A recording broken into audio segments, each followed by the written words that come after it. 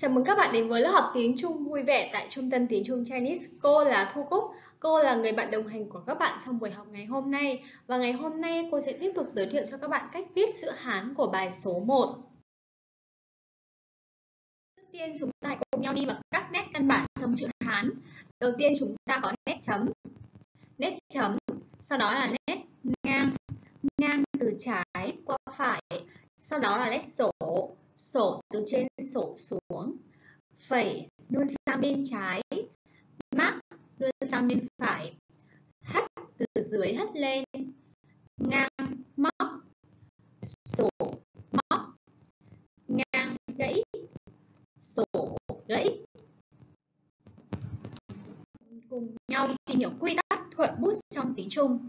Quy tắc thuận bút trong tiếng Trung giúp chúng ta biết được dễ dàng hơn, nhanh chóng hơn và thuận tiện hơn ở trên đây là cô đề cập đến cho các bạn 6 quy tắc chính thường dùng khi các bạn viết tiếng Trung. Bây giờ chúng ta sẽ đi vào lần lượt từng quy tắc một. Quy tắc đầu tiên đó là quy tắc ngang trước, sổ sau. Khi là một sự hán mà vừa có nét ngang, vừa có nét sổ thì mình luôn luôn viết theo quy tắc đó là ngang rồi đến sổ. Đây là ví dụ của số 10. Mình đọc là 10, 10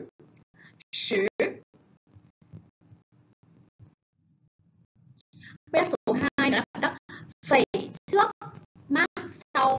Phẩy là một nét luôn sang bên trái và mát là một nét luôn sang bên phải. Mình có sự ví dụ ở trên màn hình đó là chữ rấn, có nghĩa là người. Quy số 3 trên trước, dưới sau, có nghĩa là mình luôn luôn phải biết là lượt từ bên trên rồi mới xuống bên dưới. Nhắc lại các trên trước, dưới sau. Cái chữ ở trên màn hình là ví dụ của số 3 mình đọc là san san. Mình có số 1 là y là một gạch số 2 là er er là hai gạch và số 3 là san ba gạch mình cứ biết lần lượt từ trên xuống dưới Quyết số 4 trái trước phải sau có nghĩa là mình luôn luôn viết từ trái qua phải giống như tiếng Việt của mình vậy nhá. Cái chữ trên màn hình các bạn nhìn thấy đó là chữ lý nhí có nghĩa là bạn ở phía trước về phần bên trái là mình có bộ nhân đứng bên đằng sau thì mình biết là được từ trên xuống dưới nhé từ trên xuống dưới Vết số 5 giữa trước hai bên sau cái sẽ được áp dụng khi là một chữ nó có sự đối xứng hai bên mình sẽ viết quy tắc này cho nó được đẹp nhá rồi sau mình phù hợp quy tắc trái trước phải sau nhưng bây giờ mình học giữa trước hai bên sau.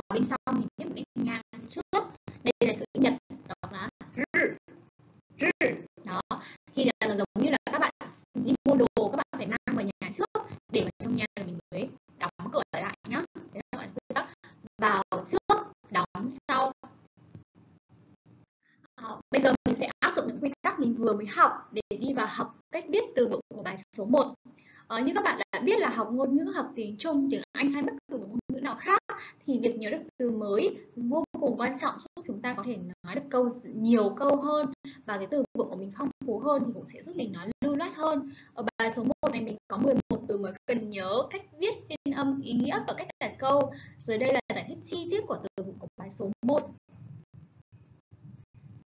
à, trước khi đi vào cái viết chữ của bài số 1 thì cô lại giới thiệu thêm cho các bạn một cái kiến thức vô cùng quan trọng. Đó là các bộ thủ trong bài số 1 à, ờ, thế bộ thủ là gì thì cô giải thích một chút này. Ở trong tiếng Trung ấy thì là cái chữ Hán của nó hơi khác biệt so với những cái chữ khác. Và cái chữ Hán của nó được cấu tạo lên bởi các bộ thủ. Các bộ thủ ghép với nhau thì được một chữ Hán. Tuy nhiên là không phải là trong cái chữ nào thì cũng có bộ thủ tuy nhiên cái việc nhớ bộ thủ để làm gì nhỉ? Để giúp mình nhớ được ý nghĩa của cái chữ đó. Ví dụ cô có từ mới, bộ đầu tiên đó là bộ nhân đứng. Nhưng đến từ nhân là các bạn đã hình dung là người rồi đúng không nào? Vì thế những cái từ nào chỉ người thì mình sẽ có bộ nhân đứng. Hoặc sau này các bạn sẽ học một số các bộ như là bộ hỏa hạn liên quan đến lửa, nóng thì sẽ có bộ hỏa hoặc là mình có bộ chấm thủy. Bộ chấm thủy liên quan đến nước những cái chữ gì mà có nút thì sẽ có bộ chấm thủy. Hoặc ở bài số 1 này lát mình sẽ học có là bộ khẩu. Bộ khẩu chính là cái miệng liên quan đến ăn, uống thì mình sẽ có bộ khẩu. Rồi bây giờ mình sẽ đi là lần lượt các cái bộ trong bài số 1 này nhá. Bộ đầu tiên là bộ nhân đứng thì cô vừa chỉ với các bạn rồi, đó là chỉ người. Bộ thứ hai đó là bộ nữ, là chỉ người phụ nữ. Sau này mình học những từ như là bà này, mẹ này, chị gái này, em gái này, thì mình cũng sẽ có bộ nữ này nhá. Tiếp theo là bộ tử, mình có bộ nữ là con gái rồi thì mình không thể thiếu bộ tử là con trai. Đó, tiếp theo đó là bộ bạch bộ bạch có nghĩa là màu trắng. Và với bộ cuối cùng mình học đó là bộ mã, chính là con ngựa. Và bây giờ mình sẽ cùng nhau tìm hiểu cái chữ hán của bài 1 xem là những cái chữ nào chứa những cái bộ thủ này và cách viết của những cái bộ ấy làm sao nhé bộ và bộ chúng cô nhá. Bộ đầu tiên là bộ nhân đứng bộ nhân đứng là bộ chỉ người. Thì chữ liên quan đến người sẽ có bộ nhân đứng này. Bộ thứ hai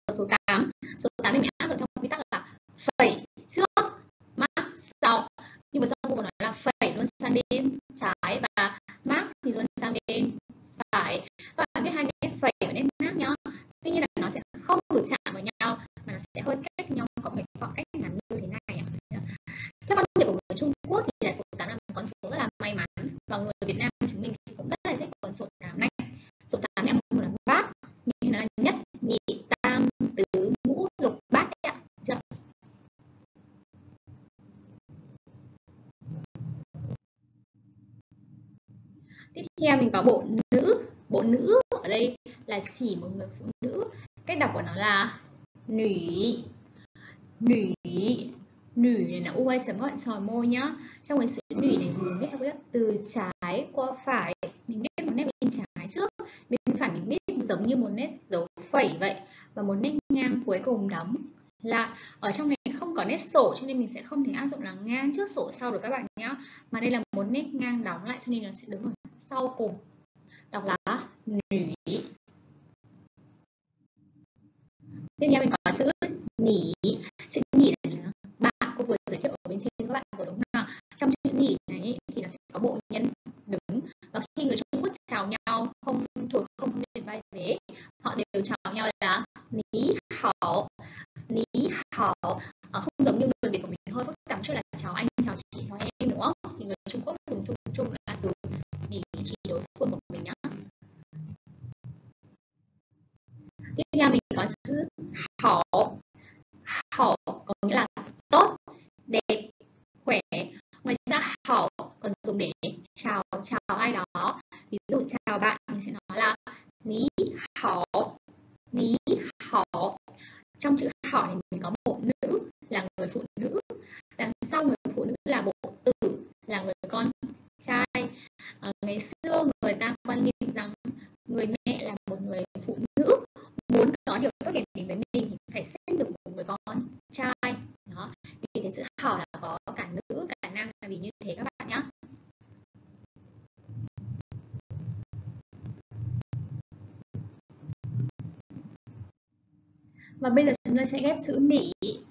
hảo nhau mình được sự đó là ní hảo ní hảo, có nghĩa là xin chào chào bạn.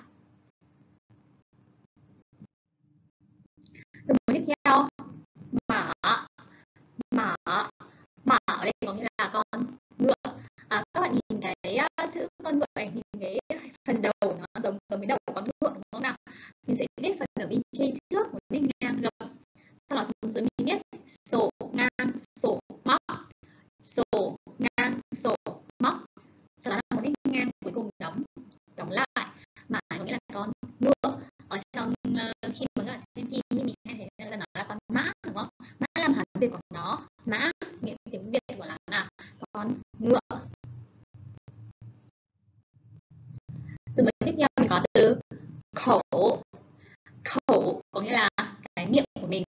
还有个词 cold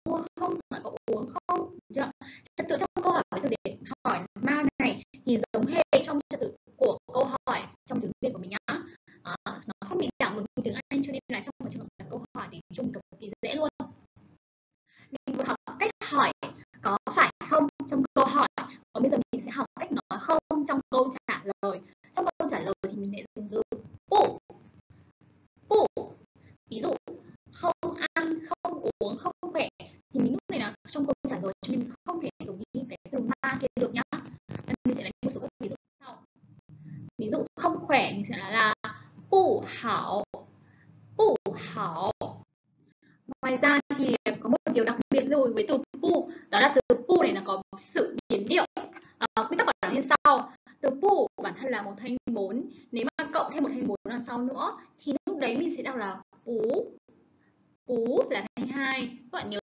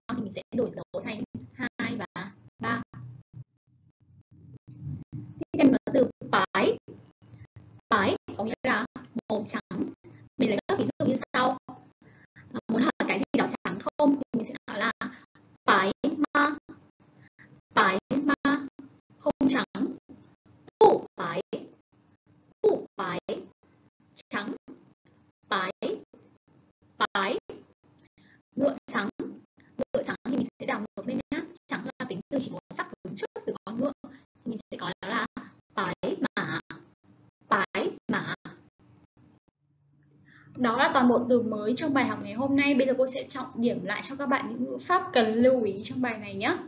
Thứ nhất, đó là cách chào ở trong tiếng Trung thì mình sẽ chào đó là ní họ. Thứ hai, cách dùng câu hỏi với từ ma, đó là mình sẽ dùng trật tự giống như trong tiếng Việt của mình vậy. Ví dụ bạn khỏe không thì mình sẽ nói là ní họ ma.